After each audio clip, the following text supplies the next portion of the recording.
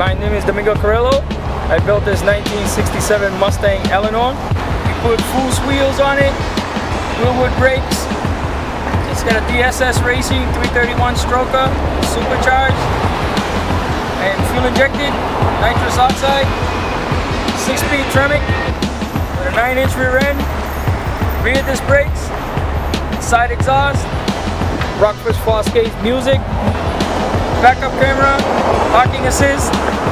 After that, all LED lights.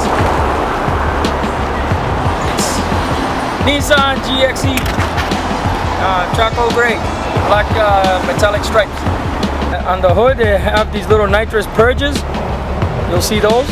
They light up when you when you hit the nitrous. The headlights are made by SICK. They have um, halos in the headlights, got the devil eyes, and the fog lights have halos too. And the bumper was cut to, to make it flush with the side of the body.